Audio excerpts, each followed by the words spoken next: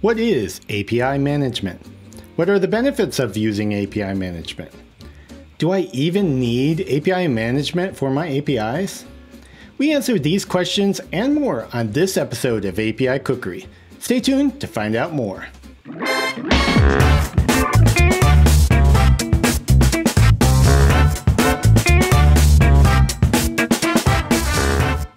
Hi, Brenton House here with API Cookery, where we talk about everything API because everything runs on APIs and we want you to be properly equipped in this API world. If you're new here, subscribe to this channel and check out the show notes in the description below so you can stay up to date with new and informative videos that will enable you to win and help others as well. So let's jump into it. What is API management? As you start designing, creating, and deploying your APIs, you quickly realize that you are not quite done yet. After your APIs have been published and more and more API clients start consuming your APIs, you find yourself in the position of making a lot of decisions about how or if you need to scale your APIs, to secure your APIs, to analyze usage of your APIs, to configure your APIs, to rate limit your APIs, and more. Some of the APIs that you have been creating might be internal APIs, while others are probably public APIs or APIs that are visible to everyone. APIs that are public facing might have more requirements and scrutiny because of the visibility that they will have. If you have just one or two APIs, you might not have put a lot of thought into some of these issues when you designed and built them. You may have embedded things like security, logging, configuration, and other features into the actual API code. But what happens when you start having more and more requirements for APIs? Especially in this world of microservices where API functionality could be broken up into smaller APIs that might only have one particular focus or purpose.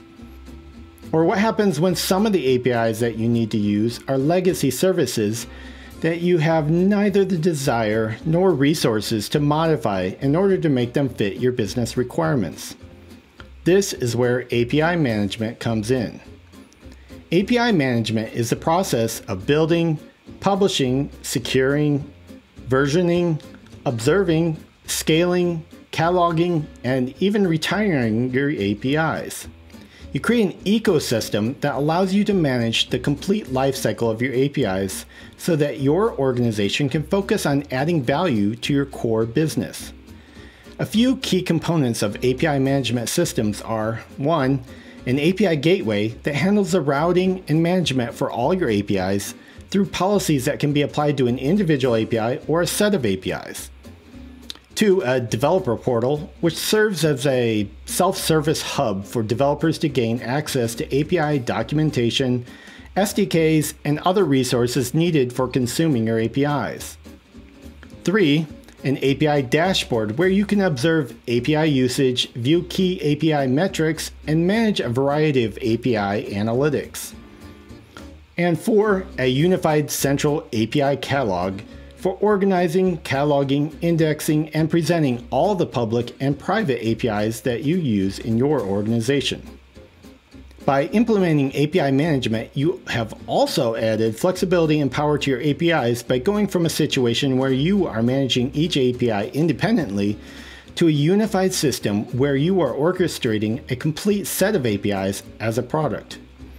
To better understand how API management fits into your API journey, you can also take a look at a couple of our other videos. One I would start off with is the API First episode, where we discuss what is API First and how to get started on the right foot. You can avoid a lot of issues and save a lot of time, money, and other resources if you begin your journey by creating your API strategy by looking at it through the lens of your organization's goals and strategy. Discover how you can create your APIs as products that add business value to your organization. I also recommend watching the episode on full lifecycle API management process, as it will help you better understand all the steps that are involved in managing your APIs. You can also find several videos on API management training where I've compiled a mega list of API management training videos and other content that you can use to be better equipped on your API journey. You can find all these API best practice videos and more at api.cookery.dev. Well, I hope this has been beneficial in helping you understand what API management is and how it can help you add business value to your organization, your products, and your customers. Feel free to add any comments or questions that you might have about API management in the comments section below. I'm Brenton House and thank you for watching API Cookery. Check out the show notes below for links and bonus content. Subscribe to this channel to stay up to date with the ever changing world of APIs and digital transformation.